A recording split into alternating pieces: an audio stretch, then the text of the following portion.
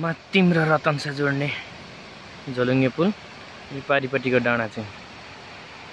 यहाँ पुरै अलैँची बगानै बगान।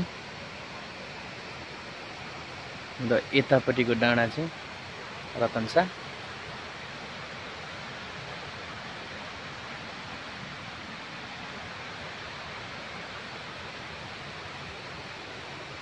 धान पनि राम्रै भइरहेको छ माथि उස්සै लागेर चाहिँ भियोग छ। यो चाहिँ तपाईँको दुई हजार सतहत्तर साल भदौ छ गते आज।